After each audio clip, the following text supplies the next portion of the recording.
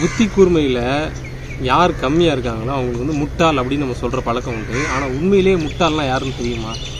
இந்த திருவாரூர் தேர்லாம் இருக்குது அதுக்கு பார்த்தீங்கன்னா தேர் இழுக்கும் போது முட்டு கொடுப்பாங்க.